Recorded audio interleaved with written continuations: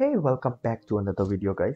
Two days ago, HBM's mod was updated with a latest snapshot and now it's possible to build your very own particle accelerators in this game.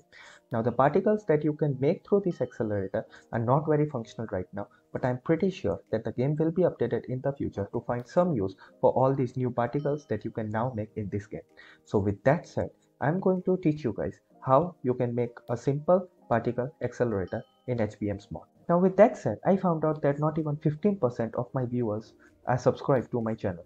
So guys, if you enjoy my videos and these tutorials, please subscribe and like these videos as it will help me out a lot. And also I have a lot of these videos planned for the future too. So now without any further ado, let's get this tutorial going.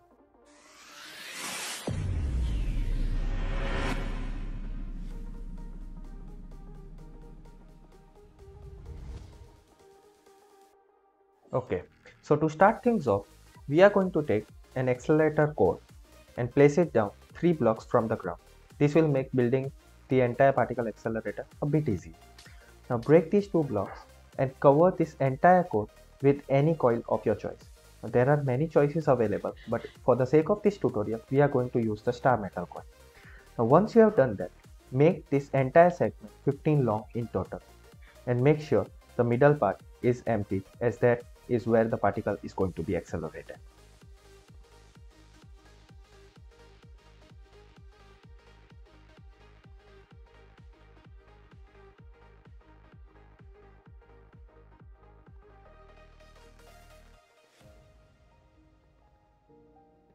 Okay, so now once you have done that, make these 15 long coils perpendicular to this one and make sure that you make three more of them so that you can complete a loop.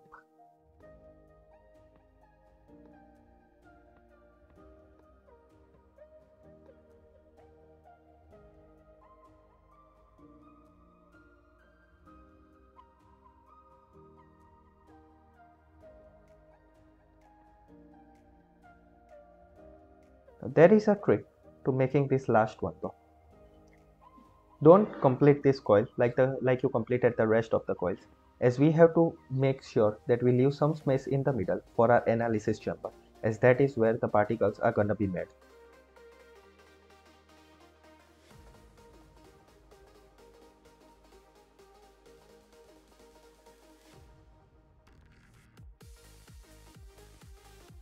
With that 5 block gap in the middle, we have completed the basic coil structure of our entire particle accelerator and now we are ready to cover it. Okay, so now that we have completed the basic coil structure, it's now time to cover all these coils in a particle plating. You can choose any colored plating of your choice, it honestly doesn't matter, but make sure that no coil is left without this casing, otherwise your particle accelerator won't work.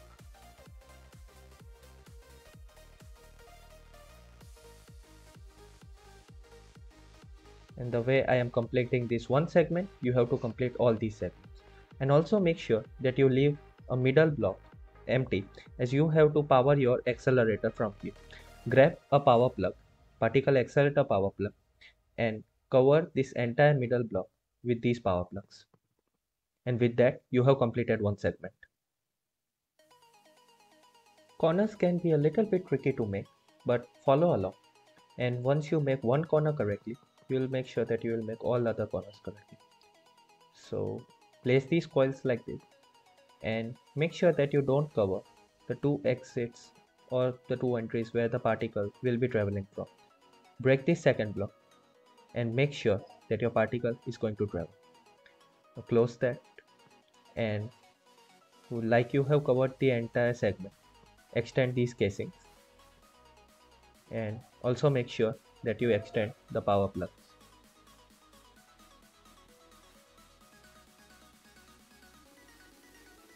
And there. With that you have completed the corner. Make sure you complete all other corners like this. Okay so with all the segments made and they are covered it's time to make the analysis chamber. So add two sets of coils in the five block gap that you left. And once you have added the coils like this cover these coils entirely with particle accelerator analysis chamber wall this is not necessary but it surely does look good Once you have done that, take your particle accelerator analysis chamber glass and add it just like I am adding in the video. This 3x3 area here is your analysis area and cover the corners with the chamber wall.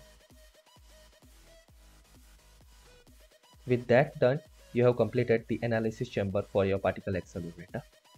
Oh, and before moving further, make sure that you break these walls and also add a power plug here.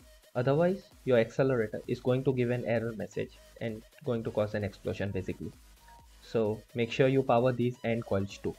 No coil should be without power in the entire accelerator. That's the thumb rule.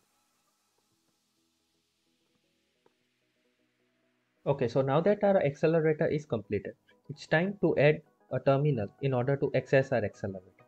Now the terminal can be added on the middle plating and make sure it is the middle plating on any side. So now that you have added the terminal, you can access the entire accelerator from this terminal. Now it's time to add some power in order to run our accelerator. In this case, I am going to use the infinite battery. And once you have added that, add some cables and connect all the power plugs with this battery to hook them up.